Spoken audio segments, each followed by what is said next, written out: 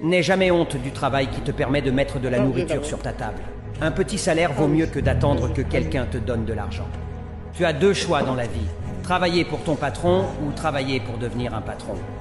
Tu n'as pas besoin d'être génial pour commencer, mais tu dois commencer pour devenir génial. Rien n'est permanent.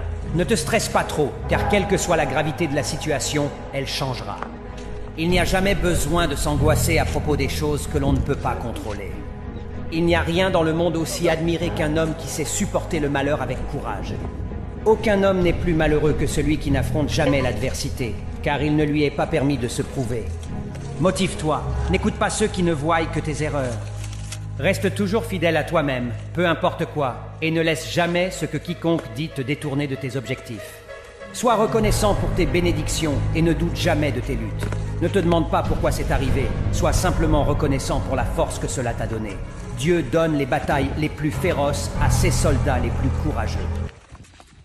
N'aie jamais honte du travail qui te permet de mettre de la nourriture sur ta table.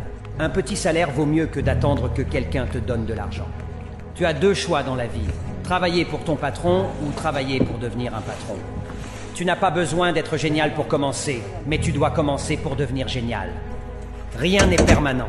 Ne te stresse pas trop, car quelle que soit la gravité de la situation, elle changera. Il n'y a jamais besoin de s'angoisser à propos des choses que l'on ne peut pas contrôler. Il n'y a rien dans le monde aussi admiré qu'un homme qui sait supporter le malheur avec courage.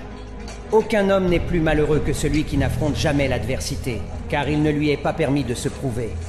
Motive-toi, n'écoute pas ceux qui ne voient que tes erreurs. Reste toujours fidèle à toi-même, peu importe quoi, et ne laisse jamais ce que quiconque dit te détourner de tes objectifs. Sois reconnaissant pour tes bénédictions et ne doute jamais de tes luttes. Ne te demande pas pourquoi c'est arrivé, sois simplement reconnaissant pour la force que cela t'a donnée.